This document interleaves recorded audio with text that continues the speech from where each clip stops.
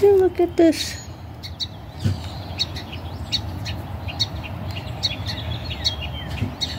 What you doing in my yard? A big guinea pig?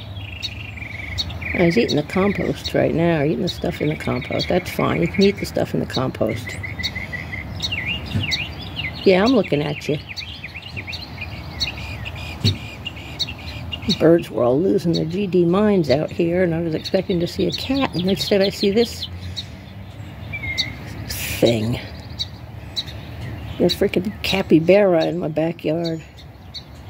Hey!